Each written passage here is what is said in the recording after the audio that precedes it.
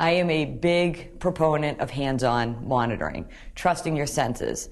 Machines are great, and we have some very advanced machines to monitor patients under anesthesia, but they're not the be all and end all of anesthetic monitoring. And a lot of technicians tend to rely on their monitors a little bit too much when their senses can tell them a lot about an animal under anesthesia. And sometimes machines can be wrong. So I am a big proponent of techs still laying hands on the animal, checking pulses, checking the mucous membranes, checking reflex times on the animals, just to make sure that the, what the machines are telling them is correct.